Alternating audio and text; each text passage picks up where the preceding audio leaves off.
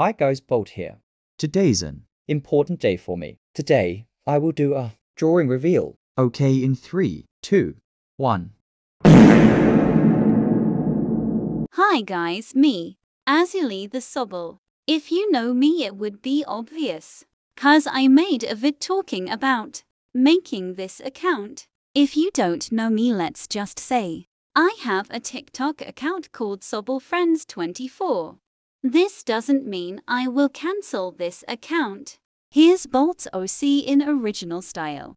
Though it's not official, I will make it official until Pinky Kit stops tracing Kata. Bye guys.